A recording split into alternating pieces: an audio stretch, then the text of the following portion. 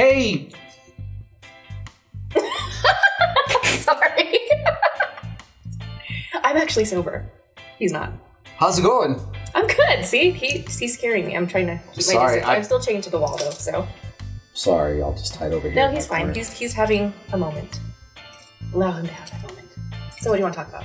Well, I brought a movie with us uh, from the vault um, that I wanted to show everybody because it's the summertime. Yeah, and summertime means summer camp for the kiddies. That's right, guys. So, one thing that I hated about the summer when I was a kid, and I hope this isn't going to take me on a path to where I can't come back from, but let's go to this other path Summer Camp Nightmare.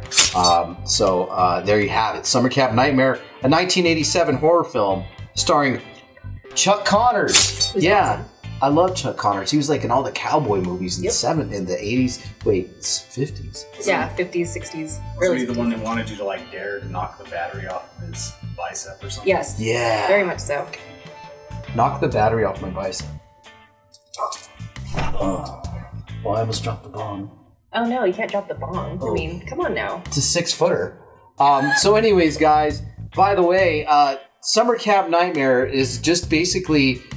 What- Not a horror movie, but it's still really good. yeah, it's not a horror movie. There's some horrific things that happen in Yeah. it, but it's not a horror movie. But it's it's kind of like Lord of the Flies. There, yeah, it's like a um, weird 80s version of Lord of the Flies. And they also sing a song called Beef Bologna. And if you don't get it stuck in your head, there's something wrong with you. Yes, Beef Bologna, and that was done by a punk band. Uh, I forget who because I'm frying right now. Runk the Punk is the guy who and his friend sing it in the movie. I hate Runk There the go. Punk. Yeah, he was a dick. by the way. There's some there's some really dick 80 dudes in this movie. Yeah, and Like, Samantha Newark's in there, and she was Jem for people my age. She's hot. Yes, yes, I agree.